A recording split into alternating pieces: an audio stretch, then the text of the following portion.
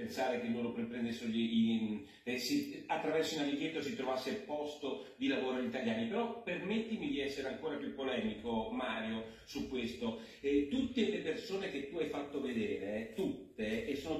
storie straordinarie perché sono tutte una diversa dall'altra L'unico che tu non tratti è il gioco legale, perché io sono affezionato al gioco legale, che sono 160.000 persone a casa che valgono eh, 14 miliardi di fatturato, ma insieme a loro tutte le persone che ha fatto vedere, non è la prima puntata, sai a che cosa debbono tutto quanto? Al fatto che la politica non ce l'ho con il professor Galli, di cui io seguo soprattutto fare i tamponi, ma tutta la politica per due mesi e mezzo e tre mesi e mezzo ci ha fatto sì che noi si avesse una paura nera. Le fiere